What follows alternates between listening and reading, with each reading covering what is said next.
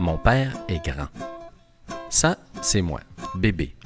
Celui qui tient la caméra, c'est mon papa.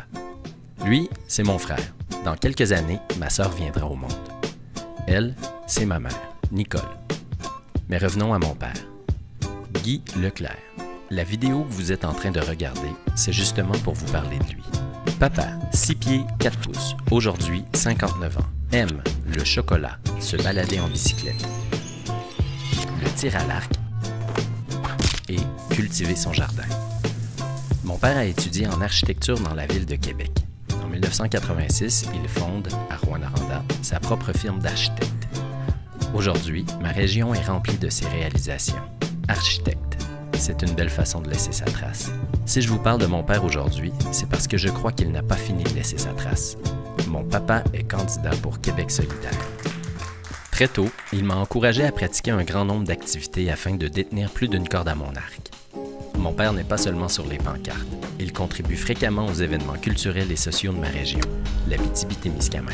Il s'implique à l'amélioration de la qualité de vie dans ma communauté. Dans les années 80, il était président du comité permanent sur l'environnement de Rouen-Noranda. À l'époque, les villes de Rouen et de Noranda étaient considérées comme les municipalités les plus polluées au Canada. Il a organisé des manifestations pour que la mine Noranda construise une usine de traitement afin de diminuer l'émanation d'acide sulfurique de la fonderie de cuivre.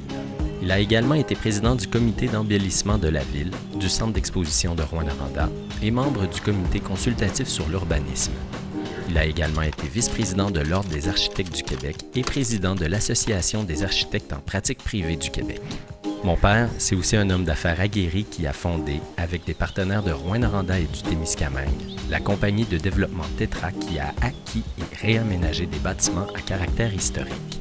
Ces bâtiments, au fil des ans, ont abrité une multitude d'organismes culturels et sociaux à très faible coût. Bon, voilà pour le CV. Mon père est candidat pour Québec solidaire parce que c'est le parti qui représente le mieux ses valeurs d'écologie, de partage et de bien commun. Je répète, écologie, partage, bien commun. Et tout ça est possible avec une vision économique. N'oublions pas que mon père est un homme d'affaires. Aujourd'hui, c'est facile de faire le constat que nous ne vivons pas dans un monde juste et équitable. Les banques, les minières, les compagnies d'assurance et les pharmaceutiques font des profits faramineux pendant que les pays et les personnes s'appauvrissent.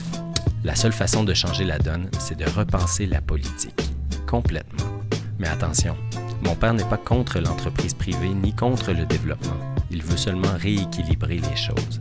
Par exemple, s'il est élu, mon père veut créer un fonds avec les redevances minières pour aider l'industrie forestière et l'agriculture de notre région. Bref, c'est utiliser le boom de ça pour en faire profiter là et là. Mon père veut encourager l'agriculture de proximité ainsi que la transformation agroalimentaire locale, notamment par l'implantation d'un abattoir régional, la possibilité de morcellement des grandes terres agricoles et leur protection contre la spéculation. Sur le plan social, il s'engage à réaliser la construction de 200 logements sociaux et la création de 300 nouvelles places en CPE dès la première année. J'entends souvent dire que le programme de Québec solidaire est idéaliste. Dans les années 80, beaucoup de gens disaient que c'était idéaliste de penser pouvoir construire une usine d'acide sulfurique à la mine Noranda, seulement pour la qualité de notre air. Ce rêve, devenu réalité, contribue aujourd'hui à la qualité de l'environnement de ma ville. Cette usine est même une fierté pour l'entreprise. Le bien commun profite à tout le monde. Bref, tout ça pour dire que, papa, t'es grand, surtout quand t'es debout.